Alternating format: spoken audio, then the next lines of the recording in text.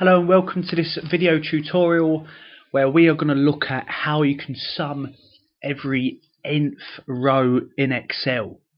So I'm looking at a scenario like I've got on screen where we want to add up these values. So I've got these sales totals and different kind of store locations, shall we say, and they're appearing in every fifth row. So there is some kind of routine to it but I want to avoid these cells that scatter in the middle. And maybe this is just the way my data's appeared when I import it off my sales database. Just, you know, I could tidy it up, but I want a way of adding up every fifth row the way it is. And displaying the total in cell E1 here. Now the way we're going to go about this is we're going to use three different functions together we're going to use a function called sum product which is an absolute genius function. If you've not used sum product before try googling or checking out at computergaga.com some sum product examples. It's a really powerful uh, formula. We're going to use one called mod. Um, let me bring up the description to save me a, a job there which returns a remind, remainder sorry, after a number is divided by divisor. We're going to use that as our way of determining if a cell is in the like fifth row on or not. So by dividing it by 5, we will know, or by whatever um, like row change, whatever pattern you're using, we can figure out whether it is or not and we're going to use row. We will need a function called row to determine what is the row number. Okay, so for example, as a quick demonstration uh, for now, if I was to type the uh, mod function and I was to give the number as uh, row 5 and then say the divisor is 5 and a closing bracket, that will say that the remainder is 0. Uh, once you've divided the two, there's nothing left over. If I said that the row number was row number 7, let's divide that by 5, then there's 2 left over. So what we want to try and say is that if you divide the row number by 5 and it comes back with 0, then add it up. If not, then don't. And in this quick example at the moment, I'm typing in the row number. Obviously, we're not going to be doing that. We're going to get Excel to look down a range. And that's what we're going to use the row number for. We're going to get it to look at the, uh, at the cell, pick up the row number, supply it to mod. Mod will check whether we need to add that one or not. And sum product is going to do the adding. So hopefully this is making some sense, trying to build up to it here let's get stuck into it. Cell E1 equals, and we go for sum product. So we're going to give it some uh, ranges and it's going to add them up for us. First thing we want to know is what is your first array? Now this is going to be our test. So we're going to enclose this within some internal brackets here. I'm going to put an opening bracket and I'm going for mod opening bracket. So like we saw a moment ago, mod will ask us, okay, what number would you like to divide? We want to divide row, opening bracket. Then I'm going to select these numbers that I want to test to see what row uh, the cell is in. And I'm going to use my F4 key to fix that and make it absolute.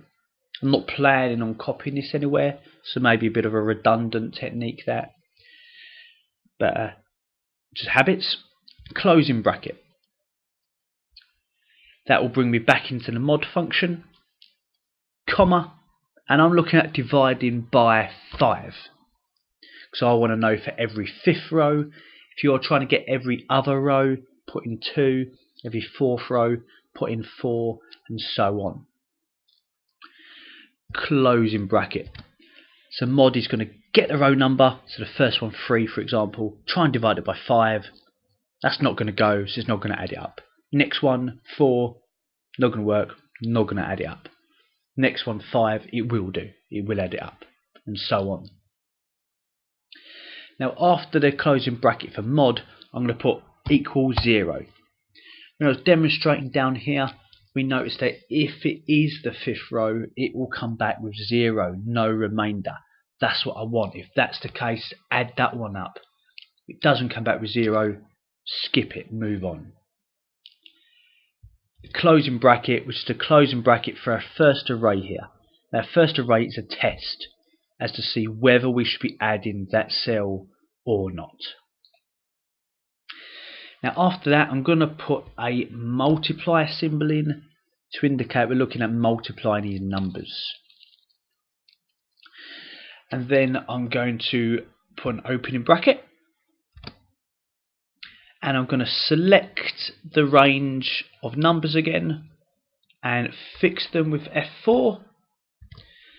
So what we're trying to say is basically add them up. Simply it looks strange in this sum product function, but add up all of these numbers where the number is the fifth row. We need one more closing bracket on the end, which is to close the sum product function. You can see the bracket is black, indicating it's the last bracket to close. And I press enter, I'll get an answer. Now at the moment, in this scenario, that's actually the wrong answer. Because what our function's doing at the moment is adding up the fifth rows.